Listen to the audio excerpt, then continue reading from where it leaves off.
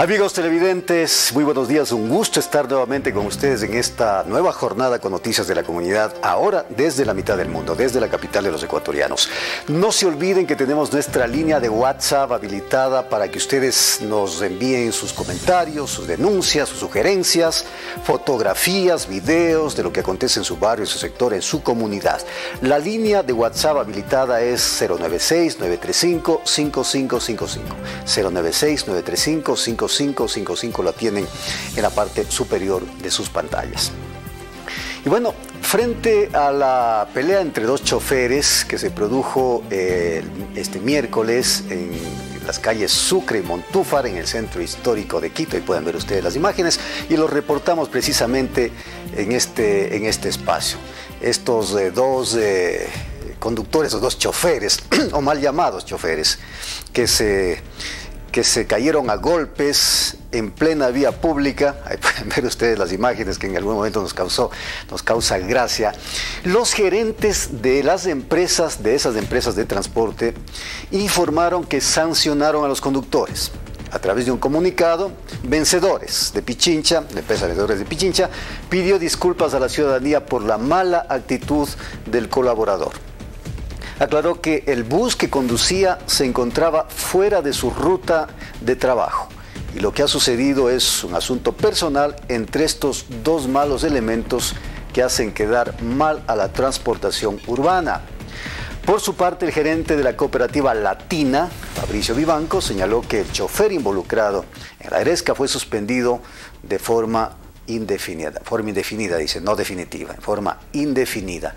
En algún momento este chofer tendrá que nuevamente realizar sus labores, pero yo digo, un acto de este tipo, como ustedes pueden ver estas imágenes, que primero causan vergüenza, ¿no? Vergonzosas, pero que por otra parte también causan hasta un poco de risa porque eh, es una situación que se da en, plenas calles de Quito, eh, frente a muchas personas, obstaculizando el tránsito vehicular y dejando un mal precedente de la clase del volante.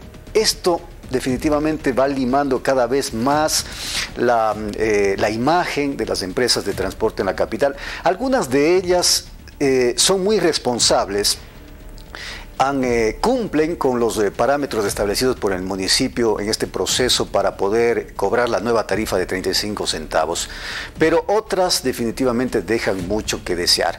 Bien por los dirigentes de estas empresas que por lo menos han reconocido, han reconocido que estos choferes, que sus colaboradores actuaron mal, y han ofrecido disculpas y han eh, anunciado sanciones contra estos malos entre comillas, profesionales del volante, porque no se puede decir eh, profesionales a personas que, que, se, que, se, que se dan de golpes en plena vía pública. Yo decía, cuando nosotros presentamos este video, yo decía, si así se tratan entre compañeros, entre colegas de profesión, imagínense cómo tratan a los usuarios.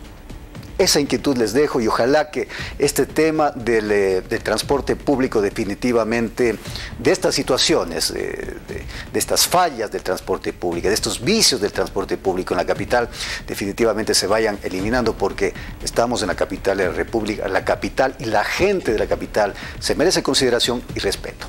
Bueno, y a propósito de buses, eh, una mancha más al tigre, dicen. Un bus atropelló a un ciclista. Vamos a ver las imágenes. Atropelló a un ciclista.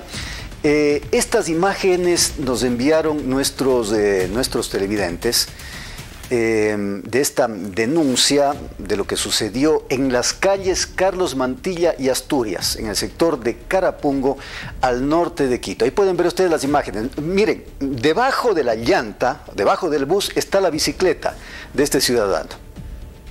Ahí, pueden ver ustedes eh, la bicicleta de este ciudadano que sufrió graves lesiones en su mano, en su mano izquierda. Una situación, una situación que se dio, eh, una situación que se dio, em,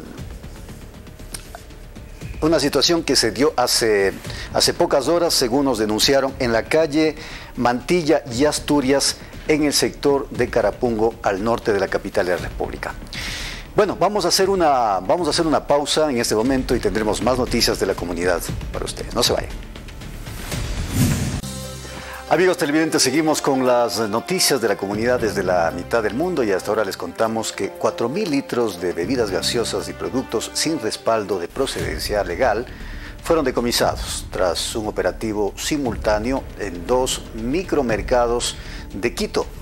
Miembros de la Policía Nacional, en coordinación con el eh, personal de Servicio Nacional de Aduana, de la Agencia de Regulación, Control y Vigilancia Sanitaria y del municipio de Quito, verificaron los establecimientos que comercializan alimentos procesados o que estos establecimientos cuenten con la notificación sanitaria ecuatoriana. Este es un operativo que se ha realizado en acción conjunta con varias, eh, acción conjunta con varias eh, autoridades, varias dependencias que realizan precisamente el control y la regulación de los productos que se expenden en mercados, que se expenden en micromercados.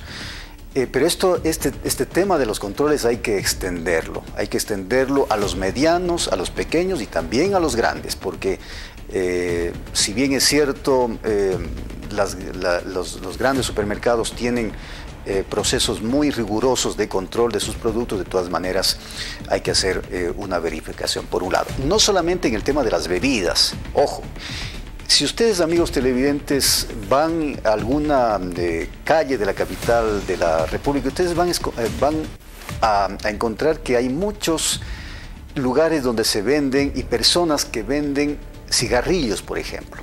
No sabemos el origen de esos cigarrillos. Eh, no sabemos la calidad de esos, de esos cigarrillos, de todas maneras, estos se expenden y no solamente en las calles, se expende también en, algunos, en algunas tiendas y, supermercados. Y así una infinidad de productos que requieren un eh, control permanente porque está en juego la integridad de las personas, la vida y la salud de las personas. Bien por estos operativos. Bueno, y ayer inició la repavimentación en el puente vehicular de Guajaló, ubicado en la intersección de las avenidas Morán Valverde y Pedro Vicente Maldonado, al sur de Quito. Las labores se ejecutarán en los cuatro carriles de circulación eh, del puente y se prevé que concluya en aproximadamente 20 días. El primer tramo de intervención en el sentido occidente-oriente eh, por esto la circulación vial se cierra desde las 21 horas 30 hasta las 5 de la mañana, hora en la que se restablece nuevamente el tránsito vehicular. Luego de unos días los cierres serán de 9 horas 30 a 15 horas 30. Es importante que la ciudadanía salga a tiempo hacia sus destinos y tome en cuenta las señales, preventivas de la obra y las rutas alternas de circulación. Sí, aquí hay que hacer un llamado, hay que hacer una recomendación a la ciudadanía para que no solamente salga a tiempo, sino que en determinado momento pueda eh, ver, eh, pueda buscar eh, rutas alternas para poder circular mientras se realizan estos trabajos. Reiteramos, repavimentación en el puente vehicular de Guajaló, ubicado en la intersección de las avenidas Morán Valverde y Pedro Vicente Maldonado al sur de Quito. Entonces, a quienes viven en esa zona, los moradores o aquellas personas que quieren circular por esta zona, hay que tomar las eh, precauciones necesarias, em, estar pendientes de la de, la señalética en torno a estas obras, en torno a los horarios y en eh, otros casos tomar vías alternas para poder eh, evitar que se congestione el tránsito en esta zona.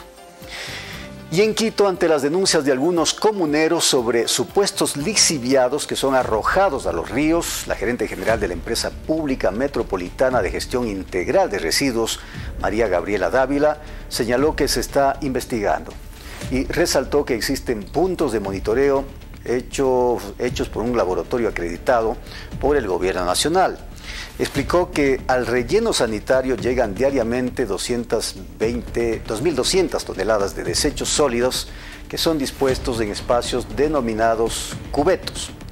Actualmente la capacidad diaria de esta planta se ha potencializado de 130 metros cuadrados a 450 eh, metros cúbicos, perdón, destacando que sería la primera vez que la entidad tiene la posibilidad de tratar los lixiviados que se generan a diario. Desde el año anterior se puso en marcha un plan de acción para el manejo emergente de los lixiviados que contempló el aumento de la capacidad de almacenamiento y la implementación de un tren de tratamiento. Esta es una denuncia que, eh, bueno, esta es, este es una, eh, una aclaración a propósito de las denuncias de supuesta contaminación por estos lixiviados. Primero habría que ver la veracidad de ese video. Segundo, es un video que eh, está en alguna parte que yo no realmente no conozco. Nosotros tenemos puntos de monitoreo que no los hacemos nosotros como en GIRS. Lo hace un laboratorio acreditado por el gobierno nacional, el cual viene a tomar muestras de suelo, de aire, de agua, de sonido. Además tenemos eh, estudios de aguas río arriba, es decir, cómo llega el agua del río dentro al relleno sanitario y cómo sale de la parte del relleno sanitario. Esos son estudios técnicos que están por un laboratorio acreditado, también por un laboratorio internacional, porque así nos pide la norma ambiental, y esos informes serán entregados a la autoridad competente para que pueda él determinar técnicamente qué es lo que está sucediendo dentro del redel. Bien, y con esto concluye este espacio de la comunidad. Queremos eh, agradecerles por habernos acompañado en este horario durante esta semana. Que tengan un muy buen, muy buen fin de semana y, por supuesto, la próxima semana estaremos con más. Felicidades.